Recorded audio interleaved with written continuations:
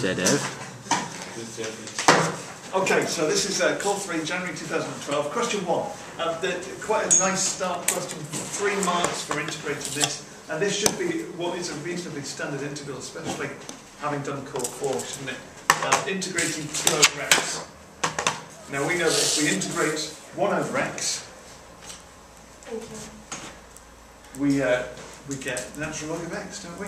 So 2 over x must just be twice that, twice as much. So it must be 2 ln x.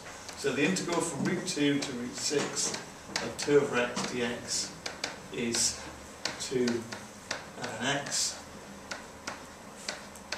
Now we are going to be really careful because it does want it in the form, uh, it wants it as ln3, so we're not going to calculate this and just come up with some decimal answer.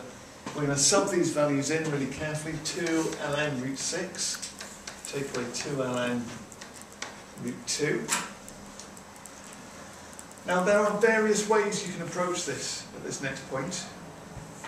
Because you could, you could use, well there are two of your log rules that you could use. You could combine them straight away as 2 natural log root 6 over root 2. You could do that by using subtraction one.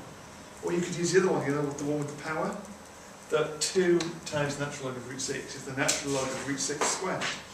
So let's just write that being ln 6. There we've got to take away ln 2. Hi Harry.